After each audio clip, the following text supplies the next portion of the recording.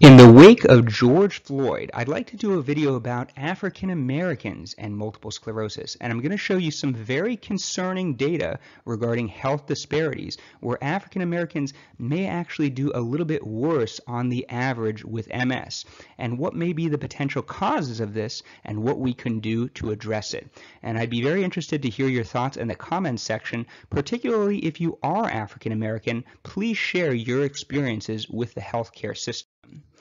Now, I was taught as a medical student that MS was a European disease, that mostly white people got it. This is our data from Kaiser Permanente, Southern California, and you can see that I'm one of the authors, so I know it's legit. And we actually found that black people have a roughly equal risk of multiple sclerosis compared to white people. Hispanics and Asians do have a somewhat lower risk. And in fact, women who are black seem to have a higher risk than Caucasians. Now, this is just our data set, but evidence from multiple data sets suggests that the the old idea that African Americans do not get MS is false, and they actually have a roughly equal risk overall, which, by the way, in the United States would be about 1, 1 in 350, not trivial.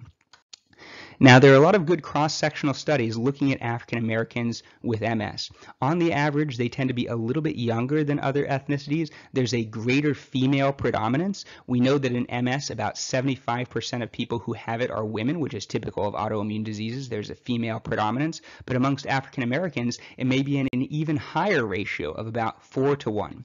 Now, the very concerning thing is that African Americans with MS, on average, seem to have greater disability, and I'll talk a little bit more about about that.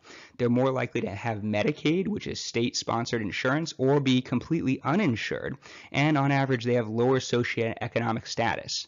Data from the National MS Society suggests that they're more likely to have relapses and they have a higher prevalence of what is sort of informally known as opticospinal MS. In other words, a form of multiple sclerosis where there tend to be more attacks and lesions in the optic nerve and spinal cord and less in the brain. And this has been reported to occur in about 17% of African Americans versus 8% of Caucasians. And one study even showed that African Americans have a higher rate of brain atrophy with MS or shrinkage of the brain. Now I'll show you some data both from Kaiser and the famous data set from the late Omar Khan. So the woman to the right is Dr. Annetta Langer-Gould, who's done a lot of great epidemiologic research, and she's also my former mentor. And I have a video talking about famous MS neurologists, and I included her, so if you want to learn more about that, go ahead and click the card above. But you can see that African Americans in our data set are younger, age 41.7 versus 44.5 in white people. They have a younger age of symptom onset, 38.3 versus 40.7, and they're more likely to be female, with 79.3% amongst African Americans with MS being female. Otherwise, everything was not statistically significant. Now to the right, this is Dr. Omar Khan, who's also mentioned in the video and the card that I linked in the previous slide. And he is known for having this African American multiple sclerosis registry. And you can see his data. He did find that there is a little bit higher proportion of women who are African American, 80% of African Americans with MS being women. The mean age of onset in his data set was actually a little bit higher, 32.8 versus 29.9. Most data sets seem to show the opposite the average disease duration was the same. And one key difference is if we look at disease types. You can see that amongst African Americans, 59.7% had relapsing remitting multiple sclerosis versus 71.6% in whites. And of course, relapsing MS tends to be more benign and associated with less disability, so that might be what's driving this difference. And you can see the rates of progressive forms of multiple sclerosis, secondary progressive MS, SPMS, primary progressive MS, MS, PPMS, uh, progressive relapsing MS, are all higher in African Americans. Now, if you look at the median time from disease onset to diagnosis, it was 3.1 years in African Americans versus 3.4 years in Caucasians. No difference whatsoever. And in fact, African Americans seem to be getting diagnosed slightly more quickly, although these are people who have health insurance essentially. But if you look at the MS severity score, MSSS, you can see that it's higher in blacks, 5.6 versus 4.47, and the time to cane dependency is significantly less in African Americans. They have roughly double the risk of progressing to a cane in this study. Uh, more data, and I should also mention the woman to the left is Dr. Mitzi Williams, who's a multiple sclerosis specialist and also an author, who's one of the authors on this publication. And they also found that African Americans do have a higher rate of opticospinal MS, as I mentioned previously, 11% versus 7.4%, a greater risk of transverse myelitis in about 27% of their patients who are African American versus 11.7% who are white, and a greater probability of motor onset, in other words, having weakness as an initial symptom. Now, they also found that African Americans diagnosed with MS have a higher rate of having the antibody anti-aquaporin 4, which is actually associated with a completely different disease, namely neuromyelitis optica. So there may be a few patients here who actually misdiagnosed with MS and may have had a different disease. I'm not sure about why they include these numbers.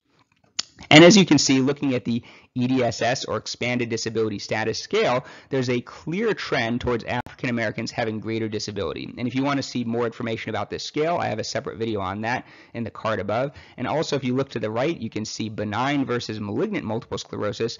African Americans are more likely to have malignant or highly aggressive multiple sclerosis.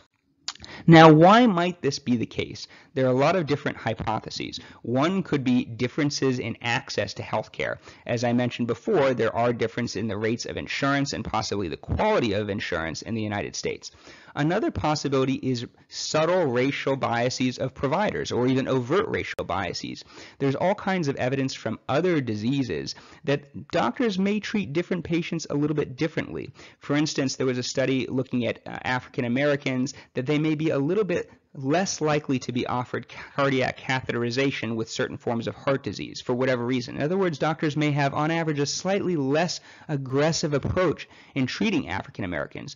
There's also some evidence that African Americans may be more likely to end up with certain undesirable procedures such as amputations for complications of diabetes. Another thing is that African Americans on average have worse health overall, higher rates of hypertension, diabetes, and heart failure. And there's some evidence that MS, even though we think of it as a sort of distinctive, unusual disease, the prognosis is associated with other medical conditions to some extent. And having other bad health conditions can worsen the prognosis of MS. Also, there's this thought that maybe because of the history of this country, uh, there may be more distrust of medical professionals from African Americans. You know, if you think about the prior Tuskegee experiments and other issues, they may not be as confident going to doctors or trusting their advice. Also, there could be genetic differences uh, of people who are African descent, and also people who are African American have, on average, lower levels of vitamin D, and low vitamin D is known to correlate with worse prognosis in MS. And I'll address a few of these issues issues. One is the genetics idea. And I have to say that I'm a little bit skeptical of this. And the reason is because the HLA genes, or human leukocyte antigen genes, which are known to be associated with multiple sclerosis susceptibility, they actually evolved prior to the divergence of human ethnic groups. We believe that we all had African ancestors who already had these genes. So the major polymorphisms of HLA genes are essentially pre present in all ethnic groups. And in fact, the main MS susceptibility allele, the gene that has the greatest influence on your MS risk, which is HLA-DRB11501, is actually less prevalent in African Americans. By the way, if you have two copies of this gene, you have an eightfold increased risk of MS, but it's actually less common in African Americans compared to Caucasians. Now, if we look at vitamin D, it's true that African Americans have lower serum levels of vitamin D, but that's true for Hispanics and Asians as well, but they have lower risk of MS. Also, if you look at the risk of MS and vitamin D, there's definitely a correlation in white people, but amongst African Americans, vitamin D level doesn't correlate with the risk of MS at all. So it doesn't really seem to be a risk factor for MS in black people. By the way, this is data from the MS Sunshine study, also done by my esteemed colleague, Dr. Annetta Langer Gould. Now, what about access to healthcare? I talked about differences in insurance between African Americans and Caucasians in a prior slide. However, in Kaiser Permanente Southern California, we found that the time from symptom onset to diagnosis was about the same between blacks and white. Khan also found the same thing. However, we're looking at people who are insured, so this doesn't take into account the full spectrum of African Americans. Uh, we interestingly found that African Americans are less likely to have the specific diagnosis of clinically isolated syndrome, which is sort of a precursor to MS, although it was not statistically significant. I'm not sure of the significance of this fact. Now, what about the distrust of the medical system? If you look at vaccination rates, it turns out that African Americans are significantly less likely to get vaccinations than white people. And of course, many factors could play into this. But this is a study correcting for age, sex, marital status, education, employment, health insurance, number of doctor visits, usual source of care, self-reported health status, duration of U.S. residence, and region of residence. And they found that African Americans are still less likely than whites to get the flu vaccine, the pneumococcal vaccination, and the tetanus vaccination. So this could suggest some distrust of the medical establishment in general from the African American community. I don't have all the answers. These are just some thoughts. I'd be interested to know your thoughts, and I'd be interested to hear your experiences dealing with the medical establishment. Thank you for your time.